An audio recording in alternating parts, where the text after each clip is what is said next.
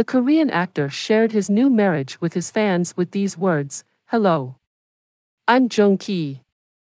Today, I want to share with you that I made a promise that makes me happy more than anything and is really valuable.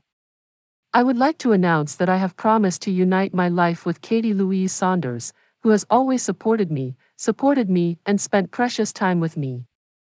He is a very kind hearted, wise, and admirable person who lives his life to the fullest. I really respect him. I feel like I am a better person because of it. We dreamed of starting a happy family together.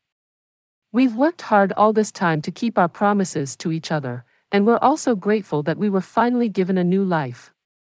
Today, too, we have formalized our marriage to begin our life as a couple, based on the trust and love we have for one another.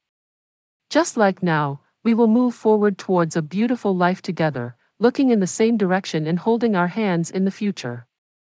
I sincerely thank all my fans who have always embraced me without hesitation. On January 30th, Dispatch reported that Song Joong Ki and his wife, Katy Louise Saunders, have been living together in a villa in Seoul's Hannam neighborhood since last spring. It is also shared in the news that Song Joong Ki invited Katy's family to Korea after Katy became pregnant and they lived together in a house worth 20 billion won.